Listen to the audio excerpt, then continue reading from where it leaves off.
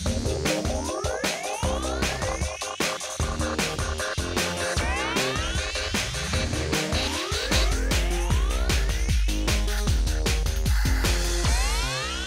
Merci, bonjour. Donc, je suis professeur à la section d'histoire et esthétique de cinéma.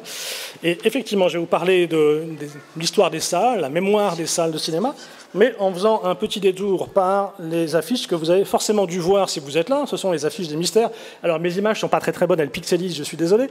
Mais ce qui m'intéresse ici, c'est le fait que dans ces images, il y a quand même des curieux accoutrements, des objets un peu bizarres qui, je pense, pour des enfants, sont parfois assez étranges, ne renvoient pas à des choses très précises. Par exemple, vous voyez que aussi bien la jeune fille que le, jeune homme euh, ont des grandes lunettes. Est-ce que vous savez à quoi servaient ces grandes lunettes qu'on n'utilise plus du tout aujourd'hui? Elles n'ont pas la même fonction. Les lunettes que nous portons, les miennes elles sont là, c'est pas du tout les mêmes que celles-ci. Donc, est-ce que vous savez à quoi servaient ces lunettes? Elles renvoient à une pratique très ancienne en fait. Non? Vous n'avez pas d'idée? En fait, ce sont des lunettes qu'on utilisait à la fin du 19e siècle, vers 1895. C'est le hasard, c'est aussi l'époque de la naissance du cinéma, mais ça n'a pas de rapport avec le cinéma. On les mettait pour aller dans les voitures, parce que les premières voitures n'avaient pas de pare-brise. Et dès lors qu'on roule, même assez modestement, à 40, 50 km/h, eh ben, euh, les moucherons rentrent dans les yeux. C'est très embêtant, évidemment, les moucherons dans les yeux. Donc, on mettait des lunettes pour se protéger. Et donc cet objet très ancien, les lunettes de voiture, ont été remplacées par des pare-brises. De même, vous voyez ici euh, le, sablier qui sert à mesurer le temps, qui a été remplacé par des montres, qui sont maintenant remplacées par des smartphones. Je ne sais pas qui a des montres ici, mais j'ai l'impression qu'on est de moins en moins nombreux à avoir une montre. La plupart des gens regardent l'heure sur des smartphones. Donc ce qu'on voit, c'est un petit détour pour arriver au cinéma, ce qu'on voit, c'est que les fonctions restent, mesurer le temps, se protéger des moucherons, mais les objets changent. C'est un peu pareil pour les lieux, sauf que les lieux changent moins, parce que, évidemment, c'est plus compliqué de transformer euh, un grand bâtiment, mais c'est un peu la même chose. Ils servent à des fonctions, et euh, les lieux sont transformés parce que euh, la façon d'user de ces fonctions, on pourrait dire, les usages que nous en faisons, sont modifiés. Alors là, j'ai mis deux, lieux en, relation parce qu'ils sont très proches l'un de l'autre physiquement à Lausanne. Il y a, vous l'avez reconnu, l'église Saint-François, qui est très ancienne, qui, date euh, pour la, fin de sa première construction, puisqu'elle a été détruite, en partie reconstruite, etc. Elle date de 1270, donc elle a 800 ans. Elle est très très ancienne. Elle a vu passer des, mondes très différents d'une autre. Elle a vu passer des gens avec euh, des sabliers. Elle a vu passer des gens avec des lunettes de voiture, comme on a pu voir. Et donc elle, nous renvoie à, des périodes très anciennes. Elle est en quelque sorte porteuse d'une mémoire euh, qu'il nous faut réactiver pour comprendre les transformations de la société. C'est un peu la même chose pour la salle de cinéma que vous voyez, qui est en fait presque en face, à peu de choses près, de l'église Saint-François, donc le Capitole. Vous voyez une photo ici euh, qui a une dizaine d'années, donc très récente. On a l'impression que c'est une salle récente. Or, en fait, c'est probablement la plus ancienne salle de Suisse encore en activité. Elle a 90 ans, elle date de 1928. Enfin, elle aura 90 ans l'année prochaine.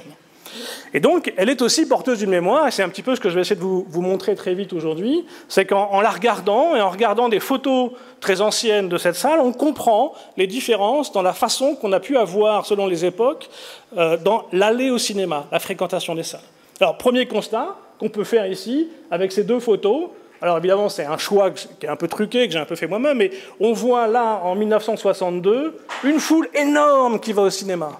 Et puis là, en 2002, 40 ans plus tard, bah, il n'y a plus grand monde devant la salle. Alors j'ai fait un choix, évidemment, j'aurais pu choisir une photo de 2002 avec un peu plus de monde, mais il n'empêche que ça témoigne de quelque chose.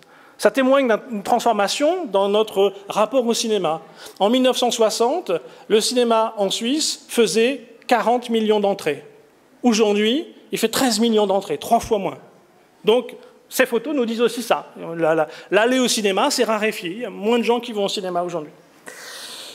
Donc on va partir de là, et puis on va se demander effectivement ce que c'était que d'aller au cinéma à l'époque bah, de l'ouverture par exemple de la salle. Là vous avez les premières photos de l'ouverture de la salle, nous sommes donc le 30 décembre 1928, euh, et vous voyez peut-être une chose, je ne sais pas s'il y a des choses qui vous frappent ici, moi ce qui me frappe c'est que par exemple il y a très peu de publicité, il n'y a pas d'affiches, il n'y a pas de photos pour annoncer les films. Il y a juste un titre à chaque fois, donc la conquête dramatique du, Cervin, qui est le, film qui avait fait l'inauguration, et puis il y a aussi euh, L'homme qui rit. Donc très peu d'affiches publicitaires. Pourquoi? Parce que tout simplement, à cette époque-là, je ne vous ai pas dit tout à l'heure, je reviens un tout petit peu en arrière, que la carte postale de l'église Saint-François date aussi de 1928. Et elle nous montre que, par exemple, dans la ville, à cette époque-là, il y a très peu d'affiches publicitaires. La publicité n'a pas encore envahi euh, l'espace public. Et c'est la même chose pour le cinéma. Il est hors de question de faire de la publicité tapageuse, on verra que ça va changer, parce qu'à cette époque-là, effectivement, la, vie sociale euh, n'invite pas à faire de la publicité de, la même manière. Donc on voit qu'on met juste le titre d'un film. Mais si on n'en fait pas plus, c'est aussi parce qu'à cette époque-là, aller au cinéma, c'est voir non pas un film en fait, c'est voir plusieurs films. La séance, c'est plusieurs films. Donc il y a un grand film, celui dont on annonce le titre ici, mais il y a toujours une multitude de petits films qui l'accompagnent dans la séance. Il y a des actualités, il y a des dessins animés, il y a des petits sketchs comiques, toutes choses qui ensuite vont disparaître et vont aller plutôt du côté de la télévision à partir des années 50. Donc là, on annonce juste le grand film. Vous avez la publicité ici parue dans la tribune de Lausanne, qui donc vous annonce cette première séance. Et on voit, alors c'est écrit tout petit, mais vous voyez peut-être, on voit le prix des places. Prix des places, là, de 1 franc 10, de 1 franc 10 à 5 francs. Si on rapporte au, coût d'aujourd'hui, ça fait euh, des places comprises entre 6 francs d'aujourd'hui et 30 francs. Alors c'est assez intéressant parce que ça nous dit qu'à la fois c'est pas cher, 6 francs, et à la fois c'est très cher, 30 francs. Et ça nous montre qu'à cette époque-là, on envisage le spectacle de cinéma comme un lieu de grande mixité sociale. Les gens se compte des riches et des moins riches. Il y a des, places pour tous les prix, en quelque sorte. Hein. Donc, aller au cinéma, c'est pas forcément choisir un film, puisqu'on voit que la séance, c'est plein de films. Le critère principal dans le fait d'aller au cinéma à cette époque-là, pourquoi aller au cinéma, pourquoi choisir cette salle, en fait, c'est le confort. Alors là, je, vous ai mis un petit texte que je ne vais pas lire, mais vous pouvez le regarder pendant que je, parle. Mais vous allez vous rendre compte que ce qu'on met en avant lorsque euh, on annonce l'ouverture de la salle, ce n'est pas sa programmation, ce n'est pas les films qu'elle va passer. Ce qu'on annonce, c'est évidemment le confort. On insiste beaucoup là-dessus. Donc on parle euh, du, hall, des belles lampes, de la décoration, du vestibule, euh, du, bar, etc. Et puis on annonce aussi, vous le voyez à droite, l'extraordinaire orchestre qui va accompagner les films. Pourquoi? Parce qu'à cette époque-là, les films sont encore muets, 1928, et aussi parce qu'en fait, entre chaque petit film, puisqu'il y a plusieurs petits films, l'orchestre joue un morceau. En fait, aller au cinéma à cette époque-là, c'est un peu comme aller au théâtre ou aller à l'opéra. C'est-à-dire qu'on va voir un spectacle en partie vivant, l'orchestre qui joue, et puis on aime le côté luxueux qu'on peut retrouver aussi dans les salles de théâtre et dans les salles euh, d'opéra. Euh, alors, vous avez ici justement euh, une photo d'époque du hall avec le bar, parce qu'effectivement, Qu'est-ce que c'est qu'une salle de cinéma en 1928 Une salle de cinéma, c'est un lieu de convivialité. C'est un lieu où on se retrouve à plusieurs, où on vient pour discuter, on vient pour boire un coup avant le film, après le film. On peut même sortir pendant la séance, parce que justement, la séance, c'est plusieurs films. Donc on choisit, oh, ce film-là m'intéresse moins, je vais sortir, je vais aller boire un coup, je reviens après, etc. Et donc vous voyez aussi à gauche la répartition, alors c'est pas très très clair hein, ce, plan, mais la répartition de la salle avec le, euh, au, deuxième tiers, on va dire, de, la, salle, les loges. C'est comme au théâtre. On peut louer à l'année sa loge. On vient et tous les, tous les, tous les jours, on peut assister à un, spectacle cinématographique différent. Et donc, selon les prix que l'on veut mettre, alors on n'est pas assis au même endroit. Les places les moins chères sont les places devant. Euh, d'où le fait d'ailleurs que souvent les, les, étudiants, par exemple, qui ont peu d'argent, allaient plutôt se mettre devant. Alors, on voit ici aussi que euh, dans une salle de cinéma, c'est l'image de droite, on peut même venir acheter son journal. Il y a quelqu'un qui est là et qui vend le journal. Parce qu'encore une fois, c'est avant tout un lieu de convivialité. Je viens, j'achète le journal, je discute avec un ami, je bois un coup, hop, puis tiens, je vais aller voir le film, puis je ressors, etc. Et puis on voit aussi qu'on a toute une armée de personnes, si je puis dire, qui, vous attend. Ils sont là, tout ce personnel qui appartient au cinéma, qui travaille pour le cinéma. À quoi servent-ils? Est-ce que vous avez une idée pourquoi toutes ces personnes sont là, bien habillées, avec souvent des uniformes? À quoi est-ce qu'ils servent? À placer, merci madame, évidemment. Ce sont les placeurs, placeuses, on dit aussi ouvreurs, ouvreuses, et ça renvoie encore une fois à une époque où on, paie sa place, on, loue son siège euh, à un tarif précis, et donc euh, évidemment ce tarif renvoie à une place précise, et cette place, on nous y accompagne. En fait, on a un siège précis lorsqu'on va au cinéma. On ne va pas s'installer n'importe où. On s'installe en fonction du prix qu'on a, payé. Mais ça renvoie aussi, encore une fois, aux pratiques de l'époque, au théâtre, à l'opéra, parce que dans les années 30, 40, 50, le divertissement culturel, c'est surtout théâtre et cinéma, et que le cinéma essaie de copier ce qui se fait déjà au théâtre et, euh, à l'opéra. Alors, pour voir l'intérieur très vite de la salle, vous voyez ici, donc là, nous sommes dans les années 50, avec des, beaux sièges euh, tapissés, en quelque sorte.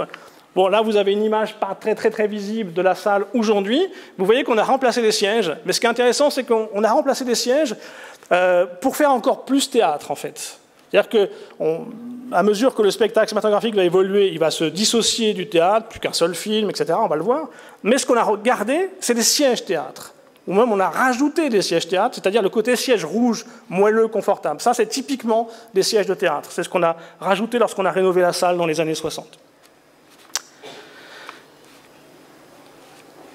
Il y a une image qui est disparue, je ne sais pas pourquoi, depuis le dernier PowerPoint, c'est pas grave. Bon. Euh, donc là, vous voyez euh, la devanture du cinéma dans les années 40-50, à une époque où ça commence à évoluer. L'aller au cinéma va changer. Qu'est-ce qui change? Bah, Par rapport à ce que je vous ai montré tout à l'heure, c'est justement la présence de la publicité, qui devient très importante. Vous voyez, donc euh, des images de, de Laurel et Hardy qui sont donc accrochées à la devanture du, du, cinéma. Puis on voit que ce qui change aussi, ce sont les séances. Jusqu'alors, l'essentiel, c'était une séance par jour, le soir, après le travail. Là, dorénavant, ce sont au moins trois séances par jour, 14h30, 17h15, 20h30. Et la grande question qu'on peut se poser, c'est qui est-ce qui va au cinéma à 14h30 Normalement, on travaille, on est occupé à 14h30. Si on crée des séances dans les années 40, 50 à 14h30, c'est qu'on se dit qu'il y a un public pour y aller. Mais qui va au cinéma à cette heure-là?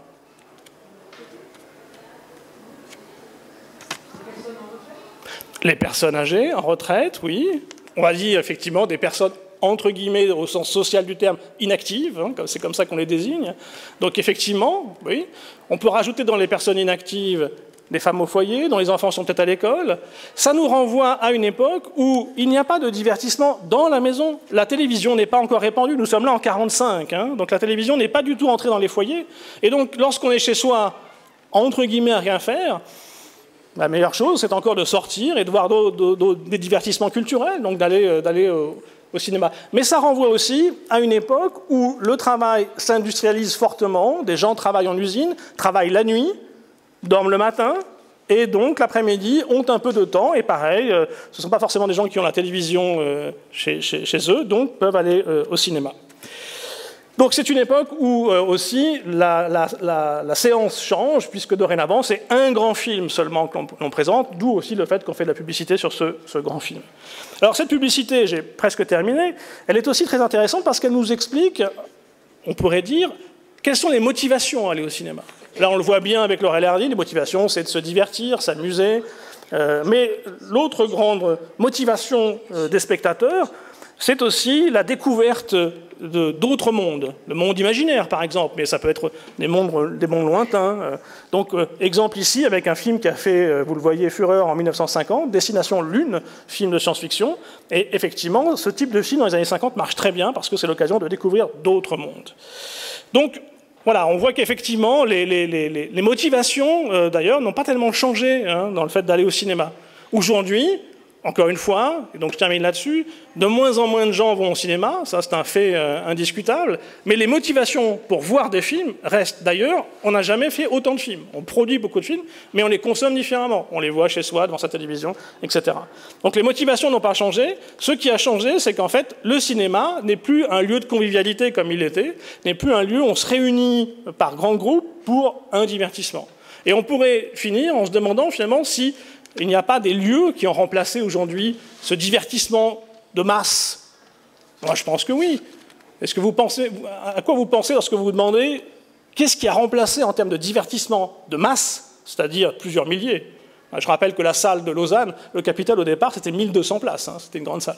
Donc en termes de divertissement de masse, qu'est-ce qui a pu remplacer? Pardon?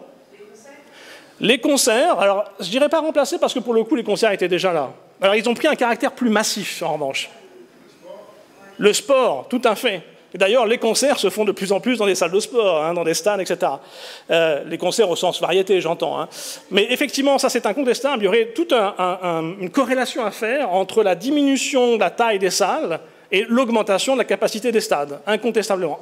De même que c'est opéré parallèlement la, professionnalisation et donc la spectacularisation du sport, incontestablement.